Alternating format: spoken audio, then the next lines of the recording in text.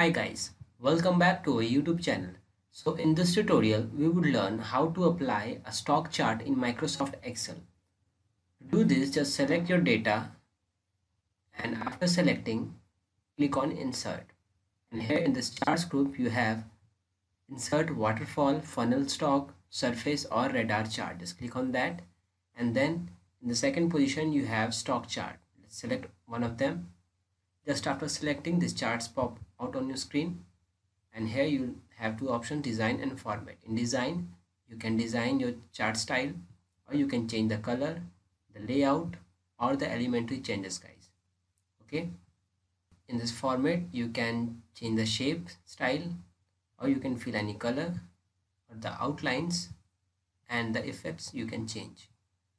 Similarly guys when you double click here if you want to do the more detailed editing then just double click in the chart and here in the right of your screen a window comes out where you can do the same.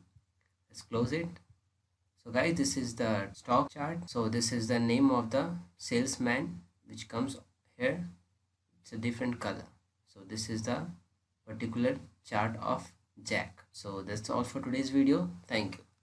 If you really like the content, then please like the video and click subscribe to see more videos like this. And don't forget to share this video with others. You can find the link to complete basics to advanced Excel tutorial in the description below or you can visit mahagurus.com to see lots of other software courses. Thank you.